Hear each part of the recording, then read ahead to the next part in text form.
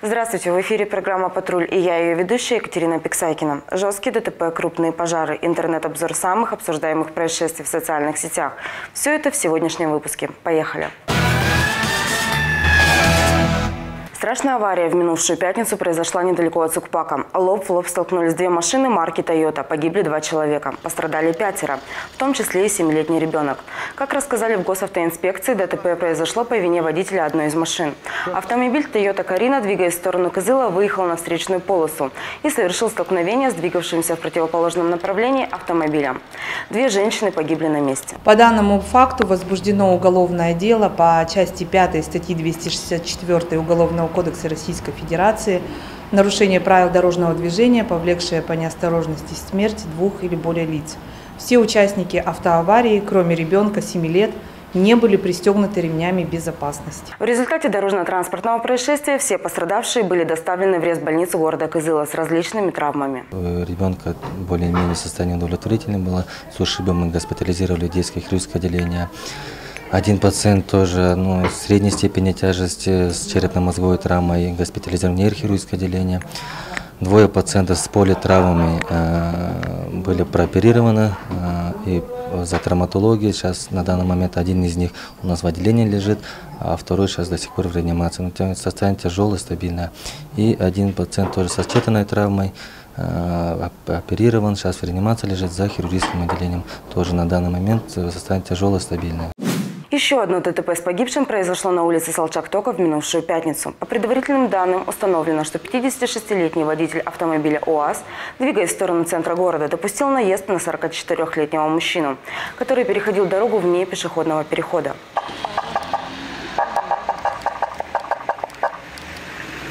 От тяжести полученных травм мужчина скончался на месте до приезда скорой медицинской помощи.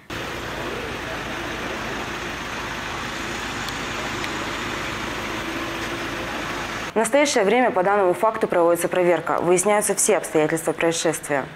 Узнаем, сколько всего ДТП, в которых пострадали люди, произошло за неделю. Сводка ГИБДД далее. С 8 по 14 октября в республике зарегистрировано 49 дорожно-транспортных происшествий, где 4 человека погибли, еще 17 были травмированы. За неделю в Туве инспекторы задержали 83 водителя, управляющих транспортными средствами в состоянии опьянения. Из них 8 автоледи.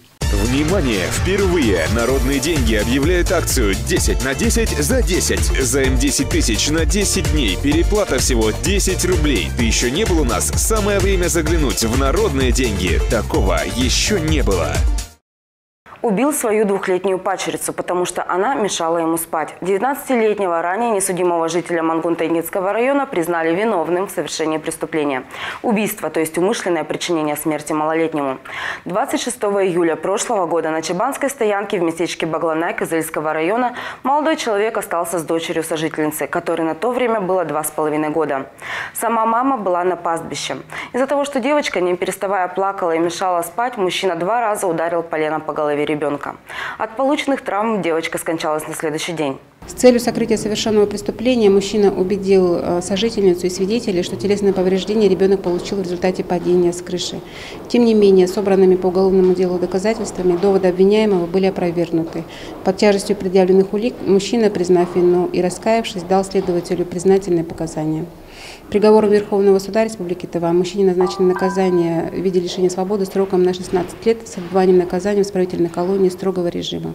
Приговор суда вступил в законную силу.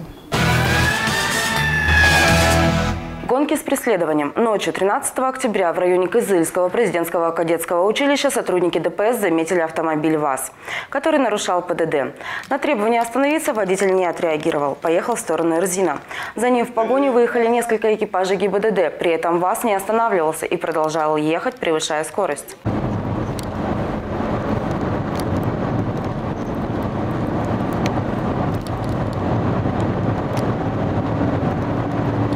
Чтобы скрыться от дорожных полицейских, водитель выехал на курорт Чедер. Хотел сбежать по бездорожью. Во время погони стало известно, что ВАЗ принадлежит жителю села Целинное.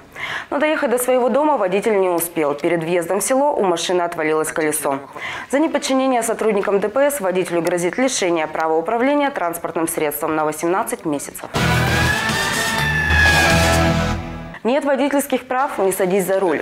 За минувшие выходные сотрудниками госавтоинспекции задержаны 8 водителей, которые управляли транспортными средствами, не имея водительского удостоверения или ранее были лишены такого права. Один из таких водителей – 31-летний житель Козыла, который без разрешения взял у матери машину. На вопрос, знал ли он об ответственности, мужчина промолчал. За управление водителем, находящимся в состоянии опьянения и не имеющим права управления машиной, либо лишенными права управления транспортными средствами, предусмотрен административный штраф и арест на срок до 15 суток. В одном из гаражей, расположенных по улице Байхакская, принадлежащем 41-летней козельчанке, нашли контрафактную немаркированную алкогольную продукцию. Установлено, что женщина незаконно хранила у себя в гараже 6640 бутылок. По данному факту следователям возбуждено уголовное дело. Санкция статьи предусматривает наказание в виде штрафа в размере от 400 до 800 тысяч рублей, либо лишение свободы на срок до 6 лет. Однако женщина не остановилась на хранении и сбыте. В ходе проверки полицейскими выявлено еще одно нарушение антиалкогольного законодательства. На около 2000 бутылках водки имелись этикетки производителя, с которыми у указанной женщины не был заключен договор на реализацию производимой им продукции. Ущерб правообладателю товарного знака составил около 342 тысяч рублей. Если вы стали очевидцами какого-либо происшествия, делитесь своими видеозаписями в нашей группе ВКонтакте «Тува в объективе». На этом выпуск программы «Патруль» подошел к концу. И в заключение я напоминаю наши контакты. Адрес электронной почты и телефонной редакции на ваших экранах. Смотрите программу «Патруль» также на YouTube-канале «Тувинская единая служба информации». Теперь точно все. Берегите себя и своих близких. До свидания.